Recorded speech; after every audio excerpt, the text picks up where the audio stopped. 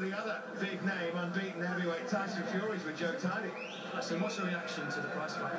To be honest, Harrison's the biggest bum inside boxing. And my reaction to David Price and Frank Maloney calling me out that midget, yeah?